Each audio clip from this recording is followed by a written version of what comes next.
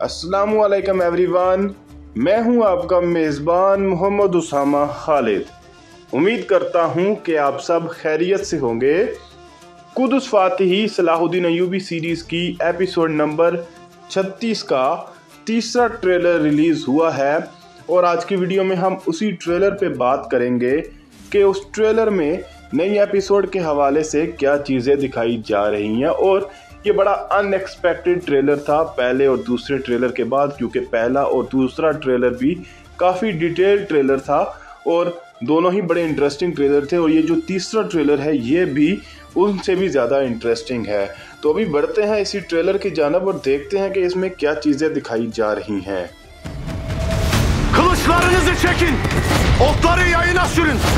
Trailer के पहले ही scene में सलाहुद्दीन अयूबी तो नज़र आ रहे हैं और इस सीन को ऐसे देख कर ऐसा लग रहा है कि हो सकता है कि आने वाली किस्त में भी कोई ख्वाब दिखाया जाए और कुदस की फतह के हवाले से कोई चीज़ दिखाई जाए सुल्तान सलाहुद्दीन यूबी को। और इसके साथ साथ यहाँ पर सलाहुद्दीन यूबी का डायलॉग भी सुनाई दे रहा है और वो ये बात बोल रहे हैं कि अपनी तलवारों को खींच लो और अपने तीरों को कमान पर रख लो।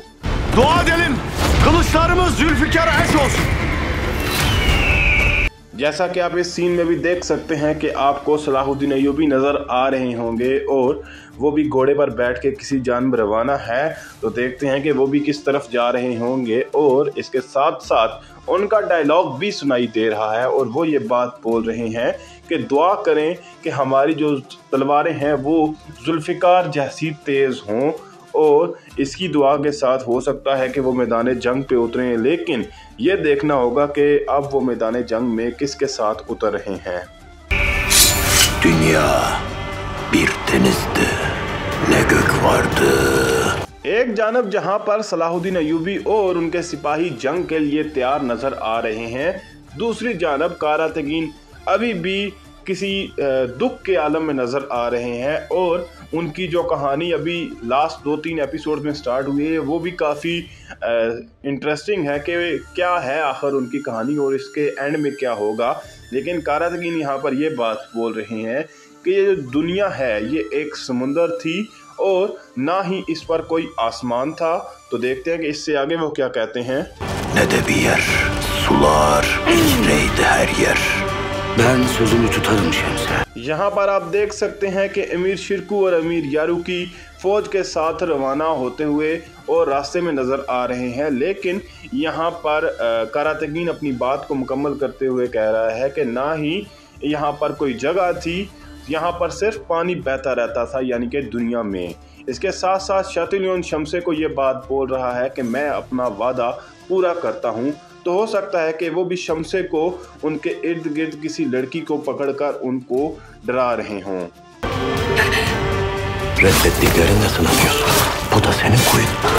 सलाहुद्दीन अयूबी यहाँ पर हो सकता है बेलियन से ही बात कर रहे हों और उनको ये बात बोल रहे हैं कि जिनको आपने छोड़ा है, उनके ज़रिए हो सकता है आपका इम्तिहान लिया जा रहा हो और ये आपका कुआँ है जैसे यूसुफ का एक कुआँ था, वैसे ही वो एक मिसाल दे रहे हैं। लेकिन साथ साथ यहाँ पर बेलियन लड़ते हुए नज़र आ रहे हैं और हैरानगी इस बात की है कि ये ईसाई सिपाहियों को मार रहे हैं। तो ये देखना होगा कि ये वाकई ईसाई सिपाही हैं या फिर कोई और। अब यहाँ पर इन सीन्स में अमालरिक और विलियम भी अपनी फ़ौज को लेकर मिस्र की जानब रवाना हो चुके हैं और वो भी रास्ते में दिखाए जा रहे हैं।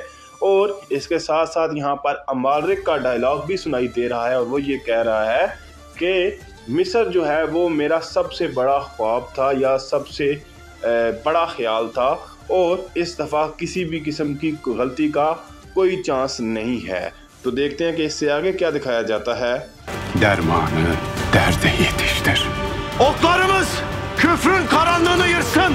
इस सीन में जैसा कि आप देख सकते हैं कि कारातगीन दिखाए जा रहे हैं और उनके साथ जो लास्ट एपिसोड में बुज़ुर्ग हमें देखने को मिले वो शायद ये बात उनको बोल रहे हैं कि जो हर दर्द का जो दरमान होता है या उसका जो हल होता है वो वक्त पर दर्द की वाली जगह पर पहुँच जाता है या ऐसी कोई बात बोल रहे हैं लेकिन साथ साथ यहाँ पर सलाहुद्दीन अयूबी का डायलॉग भी सुनाई दे रहा है और वो ये बात बोल रहे हैं कि हमारे तीर कुफर के अंधेरों को तोड़ दें Allah vaat ettiği nusreti bize göndersin.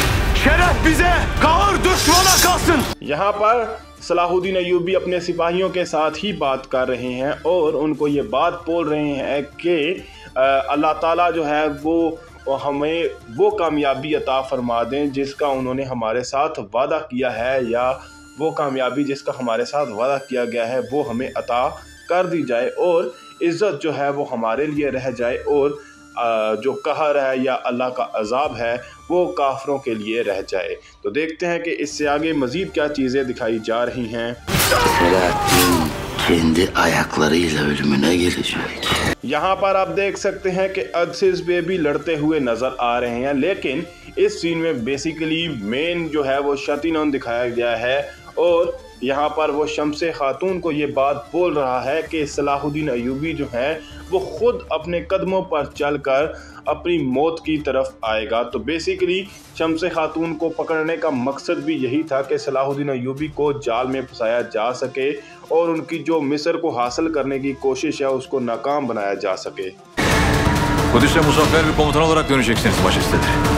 यहाँ पर आपको अमालिक की फौज दिखाई दे रही है लेकिन साथ साथ यहाँ पर लॉर्ड गाय का डायलॉग भी सुनाई दे रहा है और लॉर्ड गाय यहाँ पर बादशाह अमालिक को ये बात बोल रहा है कि आप खुद उसमें एक फाते कमांडर के तौर पर या एक फातह हुक्मरान के तौर पर वापस जाएँगे।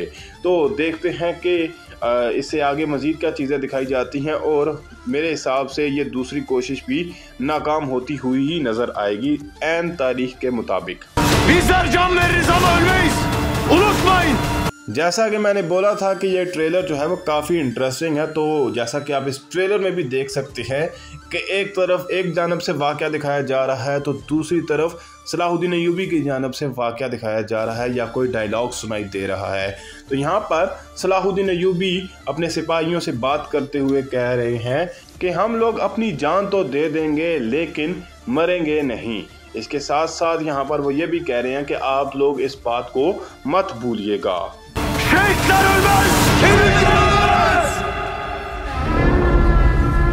ट्रेलर के लास्ट सीन में सलाहुद्दीन अयूबी अपनी बात को मुकम्मल करते हुए कह रहे हैं कि जो शुहदा होते हैं, वो कभी भी मरते नहीं हैं, यानी वो हमेशा ज़िंदा रहते हैं। लेकिन यहाँ पर सलाहुद्दीन अयूबी के साथ कुछ ही करीबी सिपाही मौजूद हैं और उनके साथ एक पूरी फ़ौज नहीं है, जबकि अमालरिक के साथ एक पूरी फ़ौज मौजूद है तो वो अमालरिक को मिस्र में दाखिल होने से कैसे रोकेंगे? ये सवाल बहुत अहम है और तारीख के मुताबिक देखा जाए तो कहा जाता है कि ये जो दूसरी कोशिश हुई थी, उसमें अमीर शिरकू ने अमालरिक की फ़ौज को शिकस्त दे दी थी। अब देखते हैं कि तारीख के मुताबिक क्या चीज़ यहाँ पर दिखाई जाती है। फिल वक्त के लिए इतना ही। अगर आपको वीडियो अच्छी लगी तो वीडियो को लाइक लाजमी करिएगा, चैनल को सब्सक्राइब करें और बेल आइकन को प्रेस करें ताकि आपको तमाम नई वीडियोस की अपडेट्स मिलती रहें। मिलते हैं बहुत जल्द नई वीडियोस के साथ, नई अपडेट्स के साथ। इजाज़त दीजिए, अल्लाह हाफिज़।